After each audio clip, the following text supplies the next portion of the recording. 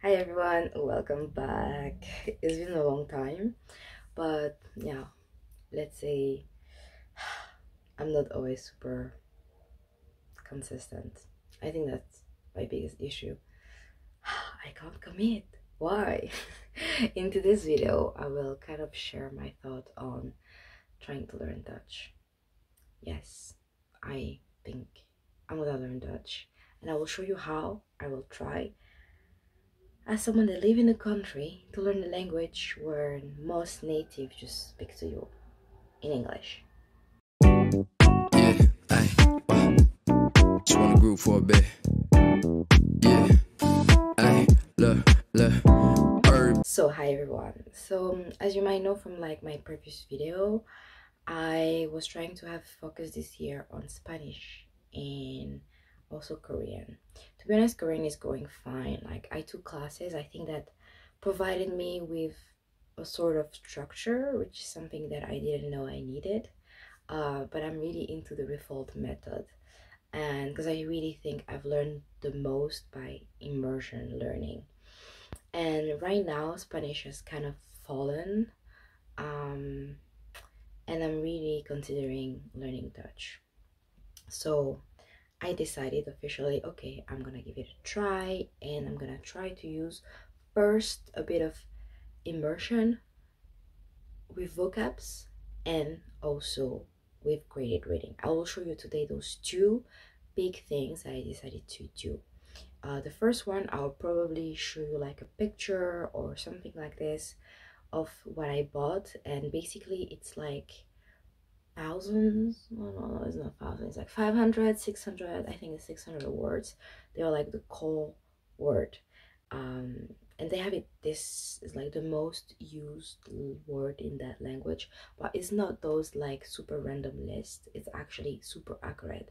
I think I've used it for bulgarian but i made up my own list at the time because the list is available in english but if you make this you also uh, you know you would just have the word and that's it. Um, but if you buy this little program is really cheap. Like i don't know i think it's like 20 to 30 bucks really nothing. You buy it and you get the audio as well. And with dutch i really needed the audio. Like you read something and then like i just cannot yet like properly read all the sound so i've tried started to do that basically kind of getting exposure to basic vocab. I realized there is a bit of english a bit of french a bit of other language in dutch. Like i'm not saying that dutch is not a language on its own. Don't kill me. I'm just saying that i kind of hear things here and there. There's like things that i already know what it means. And sometimes dutch sound familiar. Um so that helps that's gonna be my foundation. And then the other biggest part and it's actually uh, like few books that i really like in other languages and it's all about graded reading. Graded reading is super important because it exposes you to grammar vocab also expression the vibe basically. The only issue that i have with that is that it doesn't come with any audio usually and a language like korean or japanese when i i just know how to pronounce it it's just very you know easy. Um and overall right? But with dutch it's different. Let's say. But anyway so i will show you like the books that i got um and those are i think those are the people that usually do those book right uh for example there was one from Olly Richard. He's super known in the industry.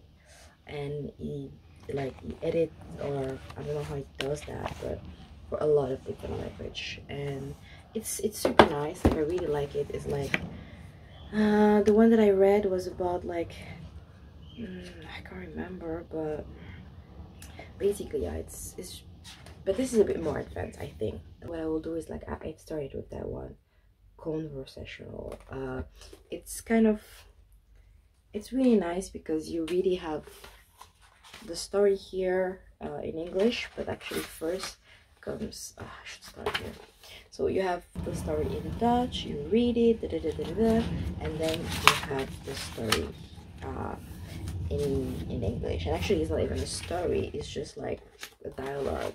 We hebben in een nieuw in een nieuwe auto naar. Oh, so I will start with this one, and then I will move on to the one.